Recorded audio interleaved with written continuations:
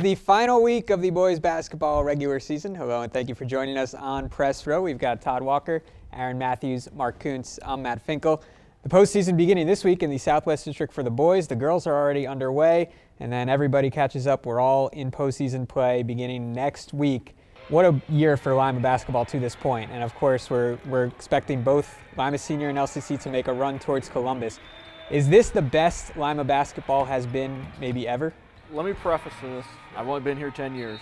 So I've only been here the last too, 10 years, it has been. For a better historical perspective, we turn over to Todd and Aaron. you know, I've, I've been uh, here since '97. Just so I'll preface that. Uh, I've been around longer than that. Um, I, you know, I think it is. Uh, uh, there's no question that the, the early '90s period rivals it with uh, Greg Simpson's Spartans, and then uh, Coach Segerson with his T-Birds going to state three years in a row, uh, and so that period of time I think would be close. And this year is, still incomplete. Uh, as as great as it's been, we still have the tournament to go. So.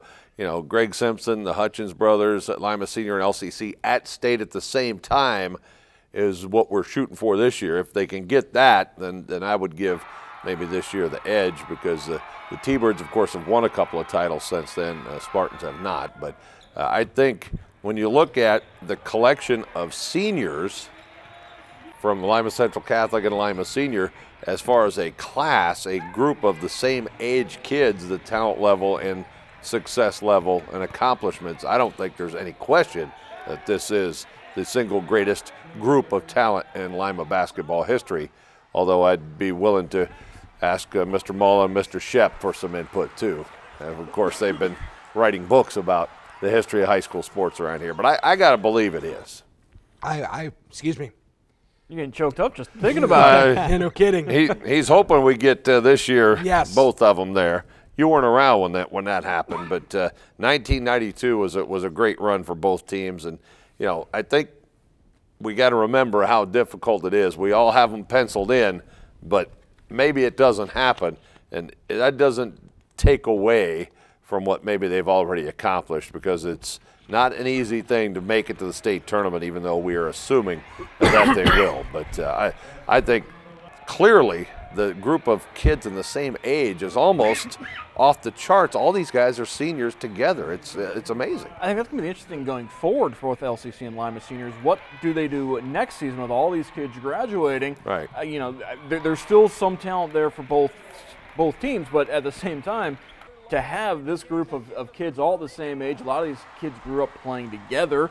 Then they went their separate ways. We understand the reasons and the whys behind all that, but it, it is quite remarkable to have this group to graduate all the same year. I would say, guys, that you know, just looking at this whole group together, it's arguably the best that we've had in our area. Uh, and even you know, a couple years ago when you had Matthias McAdams, Tyler O'Connor, Tyler White, Maddie Mock, Matty Mock, yeah. larger You know, you you include that group of kids, even Aaron Craft in there as well, in the group of kids then. But this group, I think, rivals it. And if for we do, you know, through the blessings of above, we get Lima Senior and LCC to state. Oh boy, oh boy, is that going to make for a fun potential three days? Well, I'm the least qualified to answer this question, so I've only been here two years, but I've really enjoyed watching both of these teams, and I can't wait for the tournament. It's going to be a lot of fun. Well, let me let me just punctuate it with this. There, there's nothing better than when you get teams from the same area or competitors with each other to some degree to state. We've had it with teams from Putnam County, uh, teams from the MAC, and as I said, I can harken back to '92 when Lima Senior and LCC made it. Uh, it'll be off the charts if they're both down there together because then you really can come together. You know, not that they aren't rooting for each other all season long anyway, but if they're both down at state, uh, you'll see all the, the entire city and the area come to the state tournament and root both of them on. Well, we saw that two years ago with Crestview and LCC really pushing each other to finish the Conference task mates, and yes. win the, win Yeah. the state titles in three and four. I just to go back to '92 to '94.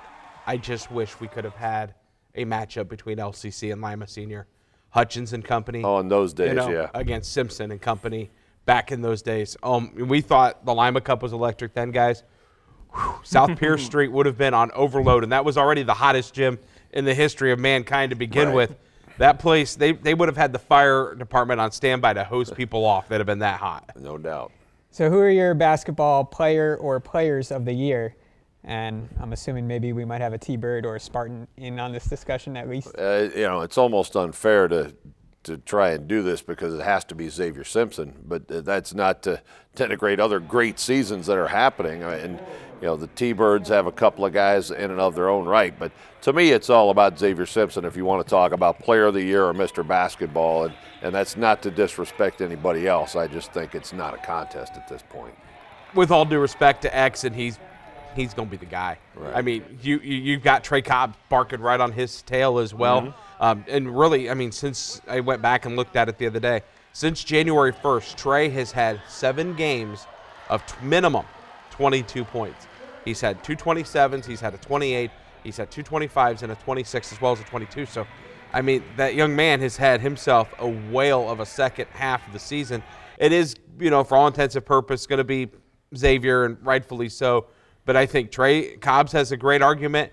I also think Dantez Walton would be in there in the argument. And just from a scoring perspective, how can you not talk about Trey Smith? Right. Uh, that's who I was going to talk about. Obviously, Xavier Simpson is the player of the year. In my opinion, Xavier Simpson is Mr. Ohio basketball this season.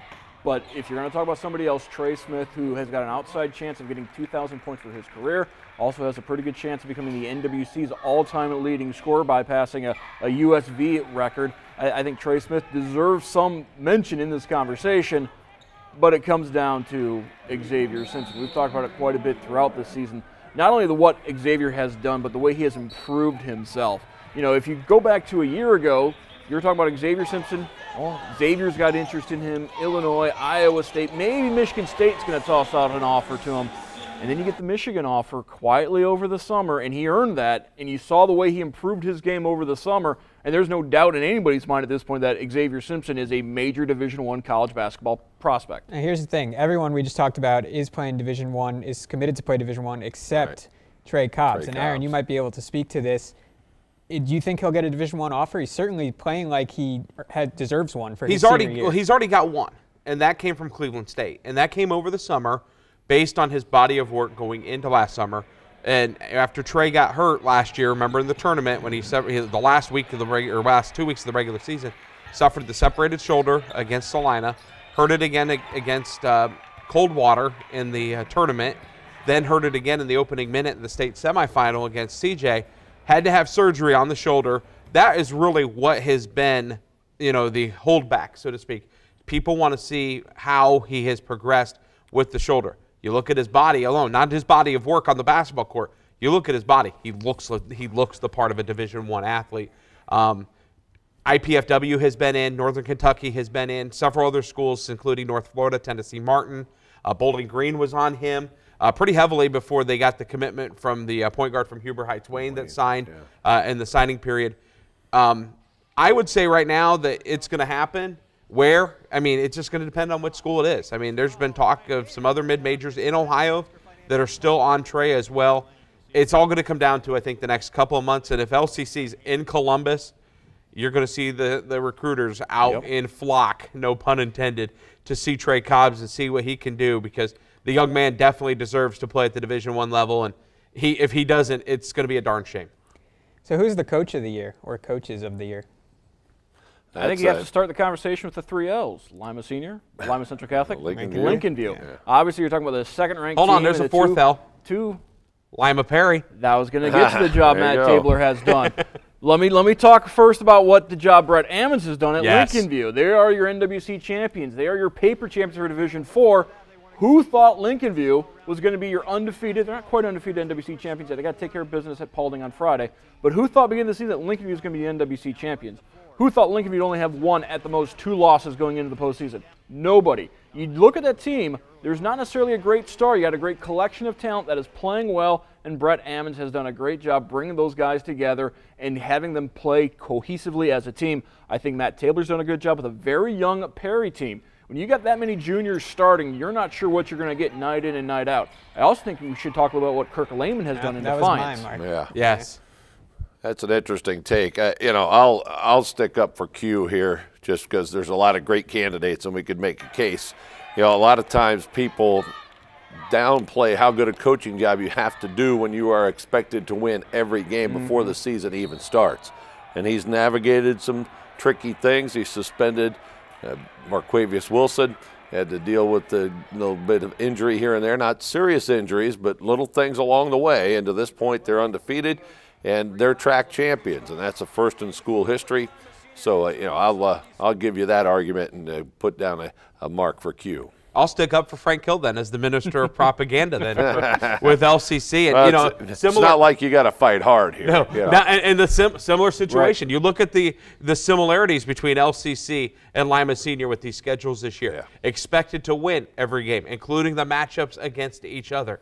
You know, managing you know se- you know six seniors deep that you know could start just about anywhere else uh, in Allen County, not just at LCC, for example. And you know, taking a team that is at the same time still a little relatively inexperienced with its bench and only going seven deep, whereas in the past Frank had the luxury to go eight and nine deep, going with a shorter bench this year, and you know, you know, having those spot pieces with guys like Mark Janowski. But I wouldn't even say that Mark's necessarily a regular part of the rotation, but to see them winning games with ease, just like Lima Senior as well, in a year where they were expected to do big things. You know, I think uh, Frank and the T-Birds have answered the call too. And to keep them motivated night in and night out when there's Yes. not a conference game to get up for. right. Yep, they don't have they don't get to go to Washington Township. They don't get to go here or there. You know, it's you know we're going to we're going to you know Lincoln View, but it's not a conference game. It's homecoming for Frank. He could have been the homecoming king that night. well, maybe not. Chandler Adams did have a little something to say about it, but Frank could have probably been, finished a close second if they redid all the balloting. And like you said, Mark, I think Kirk Lehman deserves some Yes. credit for what he has done because coming off the state title, you graduate a couple of really talented seniors, and then you're gonna you're unbeaten right now in the WBL, one game left, but you got a, you're at least a share. And Cameron Singleton was injured for a majority of the season, a- a large portion of the season. So credit to the Bulldogs and Kirk Lehman as well. Credit Kirk Lehman also for stepping up and scheduling LCC to finish up the regular season. What a great way for both the T-Birds and Bulldogs to get ready for the postseason to, mm-hmm. to go head to head against each other up in Defiance. That's going to be fun. That's that's must see TV on Saturday. That No game you can see on WOSN. All right, we're creeping up towards March. Which college teams in the state of Ohio will be in the big dance? Akron, uh, Cincinnati, Xavier, Dayton. How about that? I would agree with those four. Yeah. The only way Ohio State gets in is if they win the Big Ten championship game. Could it happen? It's not inconceivable. It's not going to happen though. No. Yeah. Well, They you were- got to figure they, like, if you want to play fantasy land, they still have two games with Michigan State and one with Iowa. Now, if they win two out of those three, and they make a decent Big Ten tournament run, they might squeak in. But I mean, odds are against it at this point uh, that Those- the those- Buckeyes will get in. Those two ugly losses in December, Those hurt, eh, they hurt very much. no doubt. But obviously, you got Dayton and X are going to be in. Cincinnati's looking pretty good, and Yeah. as you touched on, I think Akron's the favorite in the MAC. But as we've seen over the years, funny things can happen in Cleveland that MAC tournament. No doubt. Let's close with some baseball quickly. Spring training, pitchers and catchers reporting. Any optimism coming from Reds fans? Should there be? Optimism for what? That's what I, that's Uh, the to Not to question. lose 100 games? That's the Uh, question. Should there be anything to look forward to? I don't think they're going to lose 100 games. Uh, you know, if you're a, a fan of watching a team be built, watch guys develop, and to try to figure out how this team moves forward in the future, then there are things to look forward to. A pennant race is not one of them for Cincinnati. I think that's why Cincinnati's maybe one of the more intriguing teams this year, maybe a little bit more intriguing than the last couple of years because you don't know what the Reds have. And you got a chance to really see what some of these younger kids can do, what they're going to have down the road. I, I think the Reds are going to be a little bit more interesting this season. It, they will be interesting from the aspect of how do they fit these pieces into play around you know a guy like Joey Votto, who's you know seems like he's the only one left from you know the quote old regime. But you know how this goes forward who remains to be seen. No seen. Jay Bruce? Well, he's still around too for now. Today, Homer Bailey's coming back from surgery. For now, Yeah. Eventually. Yeah. in But he doesn't have his no-hitter catcher, so he's Yeah, that's not going to true. have another no-hitter. All right. Well, good job, guys. Thank you very much. That does it for this week's press row. Enjoy your games this week, and we'll be back here next week.